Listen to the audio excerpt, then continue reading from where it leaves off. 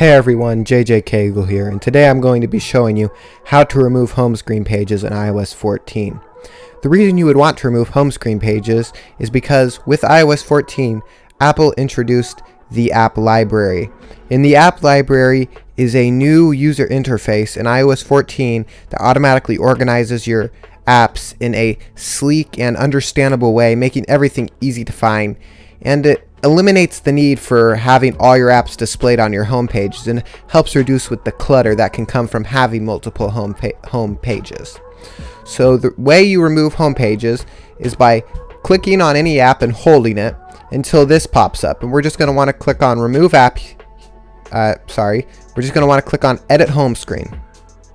And we'll enter this. And then at the bottom here you can see the dots that signify which home screen page you are on. We're just going to want to click on that and it's going to pull up this interface that shows all of your uh, home screen pages.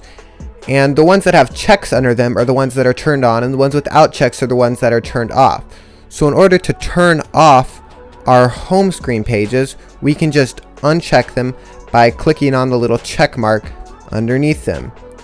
And you can uh, uncheck all but one. So you have to keep one of your home screen pages.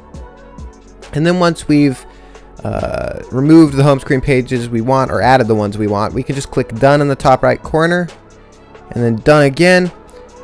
And now you can see that we only have the one home screen page and if we swipe to the right where our other home screen pages would normally be, we just go straight to the app, app library.